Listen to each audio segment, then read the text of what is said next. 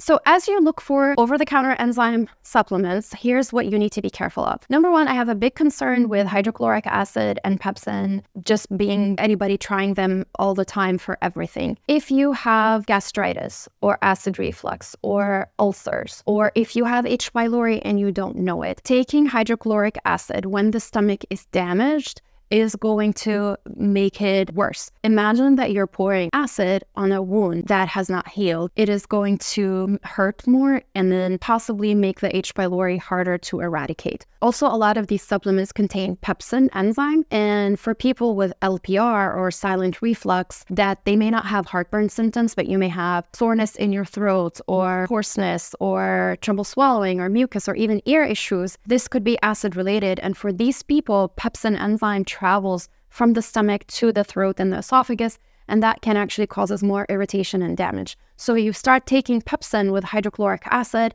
you can make your underlying problem worse. So I'm very careful with this, even though in theory, a lot of digestive problems stem from not having enough stomach acid. You got to do the work of healing your stomach and addressing the underlying problem before you earn the right to take a lot of hydrochloric acid. So just be careful with that.